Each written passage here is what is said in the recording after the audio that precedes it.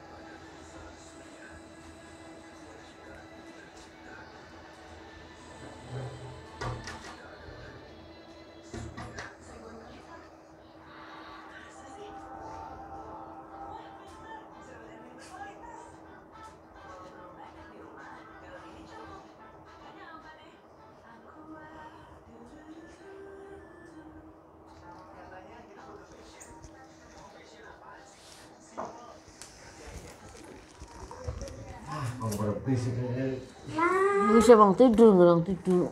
Nggak tidur katanya pak. Iya. Kalau kayak kenceng banget sih? Masa katanya Pak? kamu sudah kelamaan berisik juga kamu ini.